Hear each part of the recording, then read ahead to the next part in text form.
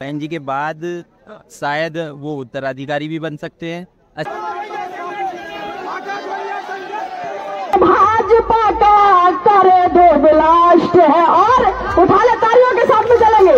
PM बना लो भैया यही मौका लास्ट है। वो एक प्यार भरी रैली थी अनुशासित तरीके से रैली। ये उड़दंग वाले का काम बीएसपी में कभी नहीं रहता ठीक है ना? और एक आरोप लगता है आकाश आकाश आनंद को लेकर कि वो रोड रास्ते पर नहीं उतरते, या फिर उनको सब कंफर्ट जोन मिलता है पार्टी के अंदर में। क्या तो अपन लोग पहुँच से बूंदे के रेलवे स्टेशन और सफ़र अभी आठ का शुरू होगा। तकरीबन अभी दस बज रहा है, टाइम कौन बहुत सारा है। एक आठ महीना बचा अभी ट्रेन आने के लिए, और जैसे फिर ट्रेन आएँगे, अपन बैठ जाएँगे कल पहुँच जाएँगे अपन भोपाल। और बड़ी रैली होने वाली बहुत मज़ा आने वाला है, सब लोग मिलने वाले जो यूट्यूबर्स हैं हमारे, जिनने भी सोशल मीडिया पर लगातार काम कर रहे हैं। और साथ ही साथ ये रैली बहुत हिस्टोरिकल भी होने वाली है। तो चलिए समर बहुत शुरू करते हैं। अरे कहाँ जा रहे हैं आप? हेलो? हाँ? तीन नंबर इधर है। चलो मेरे साथ। चलो चलो। कहा भोपाल जा रहे हैं क्या? अच्छा। मैं भी भोपाल चल रहा हूँ। मीडिया से हूँ। मीडिया से हूँ। हाँ मैं क्या सर्विस है मैं यहीं पर ही हूँ। हम महाराष्ट्र में हम चैनल चलाते हैं नेशनल चौपाल चैनल का नाम। आकाशवाणी? हाँ नहीं आकाशवाणी नहीं है। यूट्यूब पर चलता है यूट्यूब पर। हाँ। मैं तुम्हारे फ़ोन में हूँ। हाँ आ गए आ गए आप अभी भोपाल चलो मेरे साथ। हाँ। मैं प्लेटफॉर्म पर पहुँच चुका हूँ और अभी जिनको आपने वीडियो में देखा अ, उनसे मैंने बातचीत किया। उनके हाथ में बीएसपी का झंडा था इसलिए मुझे लगा कि उनसे बातचीत करना है। तो उनसे बातचीत करने के बाद उन्होंने बोला कि उनको भी भोपाल जाना है। तो ऐसे काफ़ी सारे लोग मिलते रहते स्टेशन पर और भी काफ़ी सारे लोग मिले। ट्रेन को भी ज़्यादा समय बचा हुआ नहीं है। अभी जैसे ट्रेन आएगी, फिर बैठेंगे। और इस ब्लॉग को मैं कंटिन्यू करूँगा सुबह, लेकिन उसके पहले ट्रेन में पहुँचने के बाद में कैसी क्या फैसिलिटीज़ अवेलेबल है, वो भी मैं आपको ज़रूर दिखाऊँगा।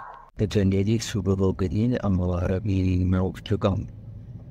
वैसे तो नींद खुल गई थी पाँच बजे, और अभी तकरीबन सात बज रहे हैं। बता दूँ, ये दो तो बेडशीट है, ये मिले थे मुझे रात। और अभी फ्रेश होता हूँ और समझता भी आगे क्या करना है, थोड़ी देर में स्टेशन भी आ जाए।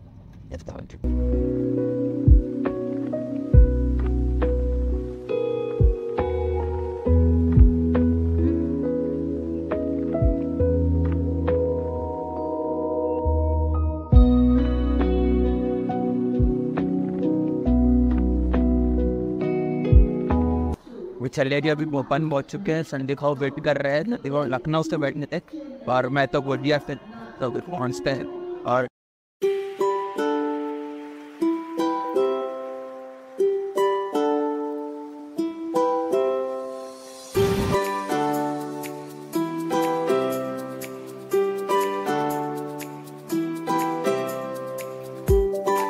साथियों कार्यक्रम स्थल पर मैं पहुँच चुका हूँ, जहाँ पर जो आंदोलन है, जो घेराव है, वो होने वाला है। और ये पीछे आप मेरे देख सक रहे हैं, यहाँ पर ही कार्यक्रम होगा। और अभी कार्यक्रम में पहुँचते हैं, क्या हो रहा है, किस तरीके से कितना बड़ा मैदान है कैसे कैसे लोग आए हैं।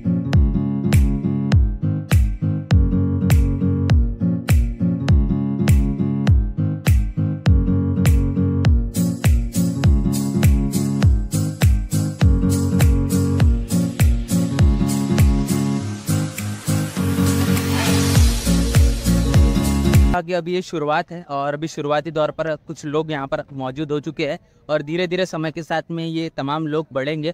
और ऐसा लगता है कि ये जो आंदोलन आज का है, जो राजभवन को लेकर घिराव है, जो आकाश आनंद इनके माध्यम से होने वाला है, ये कहने की बहुत ज़्यादा हिस्टोरिकल होगा यहाँ पर बाबा साहब का मेरे पीछे मूर्ति भी देख पा रहा है। तो इस आंदोलन को लेकर लगातार पूरे देश के अंदर की कहने की निगाहें बनी हुई, नज़रें बनी हुई है। मध्य प्रदेश के अंदर में चुनाव है और इस चुनाव के अंदर में किस तरीके से बहुजन समाज पार्टी एक परिणाम लाकर दिखाती, ये भी कहने के समय में बताएगा तो काफ़ी सारे लोग हैं, संदीप भाव भी है, अभी हमने एक वीडियो किया है और वीडियो का एडिटिंग चल रहा है, कुछ वीडियोस लाइव भी किए, नेशनल चौपाल पर सब चीज़ें अपन अपडेट दे रहे हैं और बहुत अच्छा लग रहा है, ये काफ़ी दिनों के बाद में इस तरीके से ऐसे आंदोलनों के अंदर में आना और अभी बहुजन समाज पार्टी की तरफ़ से ये आंदोलन की शुरुआत हो चुकी है और लगातार तमाम प्रदेशों के अंदर में ऐसा लगता है कि और भी ऐसे आंदोलन होने वाले हैं। संदीप भी मेरे को जब मिले तो मैंने कुछ बात नहीं किया अभी तक के क्योंकि हम लोग काम में ही थे अभी तक बिज़ी थे। क्या बताएँगे कैसा लग रहा है आंदोलन अभी? आंदोलन अभी आकाश आनंद पहली बार पैदल मार्च करेंगे भोपाल के अंदर। हाँ हाँ।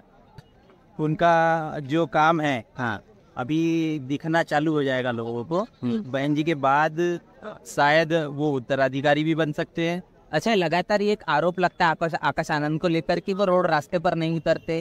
या फिर उनको सब कंफर्ट जोन मिलता है पार्टी के अंदर में क्या लगता है इससे कुछ न कुछ एक मैसेज जाए देखिए आकाश आनंद अभी सीख रहे हैं हाँ। और वो ट्रेनिंग में। हाँ अभी वो पहले तो दिल्ली के अंदर उन्होंने पैदल मारा किया। आपने देखा होगा। हाँ। इसके बाद अभी जो अभी भोपाल के अंदर उनका दूसरा पैदल हुआ है विधानसभा को घेराव करे बहुत बड़ी बड़ी अंचल सियासी हलचल भोपाल के अंदर मध्य प्रदेश के अंदर। बिल्कुल बिल्कुल।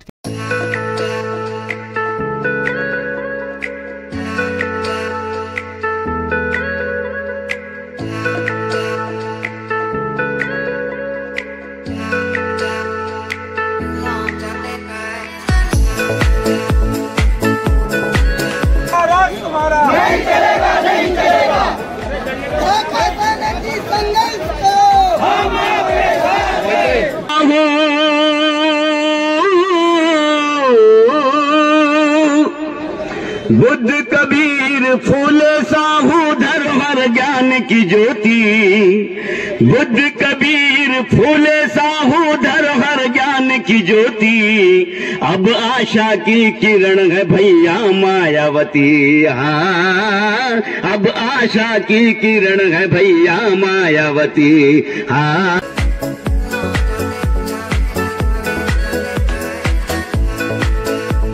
श्री राम साहब की बात में हमें ज़िक्र करना है। कहना है कि कांसी राम की बात भैया और कर लो तनक ज़िक्र। अरे के चमचा कब हुए इधर उधर? चमचा कब हु डंगो है घर? चमचा कब हुई इधर उधर? चमचा तब टंगो है घर। जो चमचा होते हैं, वो कभी तो इधर उधर घूमने लगते हैं। जब चुनाव का टाइम आता है तो चमचों की तादाद बढ़ जाती है। और जब चुनाव निकल जाता है तो उनको घर पर टांग दिया जाता है। इसलिए कहना है करनी एक है जिसकी, उसका नाम है माया। अरे चारों बार सरकार बनाई, गुंडों का किया सपाया हाँ चारों बार सरकार बनाई गुंडों का किया सपाया। और क्या करना होगा तुम लोगों को? क्या मेरे भाई? अरे चौबीस में भाजपा का, चौबीस में भाजपा का करे दो ब्लास्ट है। और उठा ले तालियों के साथ में चलेंगे। पीएम बना लो भैया, यही मौका लास्ट है। पीएम बना लो भैया, यही मौका लास्ट है। और क्या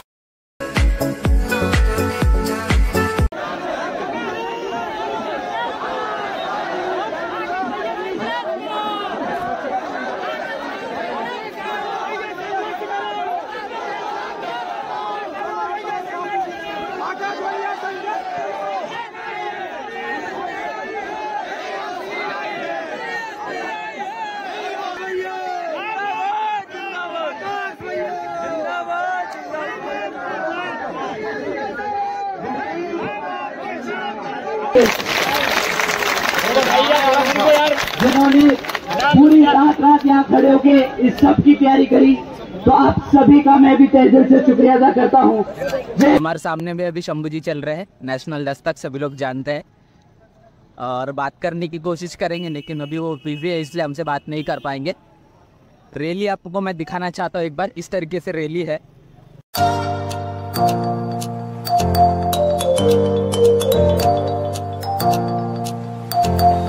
ये रैली है, इतनी बड़ी है, शायद अगर मैं अंदाज़ा लगाऊँ तो मेरे हिसाब से तीन से चार किलोमीटर आसपास से रैली हो सकती है। ये अंदाज़ा है इससे ज़्यादा ही होगी, कम नहीं होगी। और लोगों की अगर बात करें, तकरीबन लाखों लोग पहुँच चुके हैं यहाँ पर। भोपाल के इस तमाम रोड और रास्तों पर बहुजन समाज पार्टी के तमाम कार्यकर्ता जिस प्रकार जो प्रदर्शन कर रहे हैं, ये कहने के काबिल तारीफ़ है। हर बार हम कहते हैं कि जो ये भीड़ जो इकट्ठा होती है, ये पैसे से नहीं आती। क्योंकि ये लोग को जानते हैं कि इस देश के अंदर में इनके हक अधिकारों की अगर कोई बात करता है तो वो बहुजन समाज पार्टी है। इसके साथ साथ इनको ये जानते हैं कि इस देश के अंदर में बुले शाह बाबा साहब की विचारधारा अगर कोई चला रहा है तो वो बहुजन समाज पार्टी है। और उनको लगता है कि अगर बहुजन समाज पार्टी जीवित है तो हम लोग जीवित है, हमारे हक अधिकार जीवित है। और इस प्रकार अभी एक नया नेतृत्व बहुजन समाज पार्टी को मिला है, आकाश आनंद के तौर पर। तो ये भी कहने की बहुजन समाज पार्टी के लिए एक उज्जवल भविष्य के तौर पर हम देख सकते हैं। अभी हम लोग कार्यालय पर पहुँचे हुए हैं और आज का दिन भर का शेड्यूल बहुत ज़्यादा बिज़ी था जो भीड़ आपने देखा। किस तरह से कैसा लगा? सनी भाई हमारे साथ में शुरू सुबह से ही है लेकिन फाइनली समय नहीं मिल पाया तो बातचीत ही नहीं हो पाई।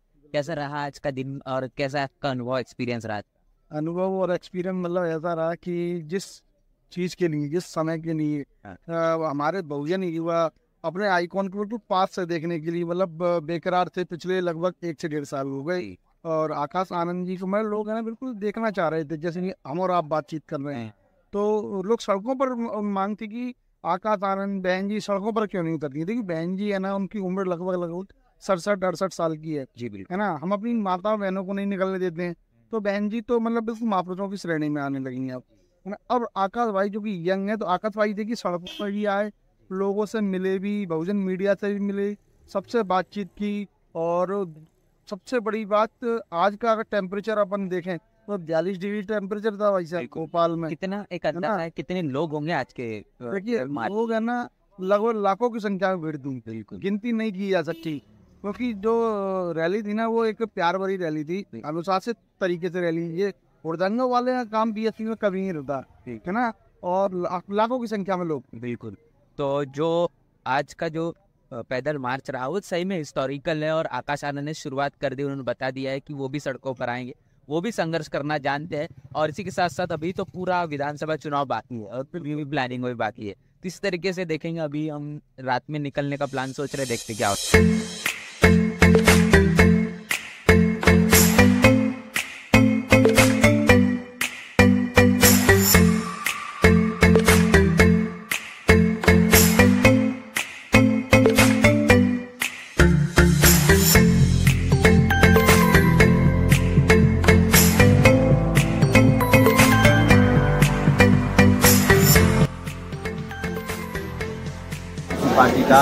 नहीं दिख रहा है। लोग कह रहे हैं कि आप लोग गठबंधन कर नहीं रहे हैं, खेल बिगाड़ देंगे दोनों का।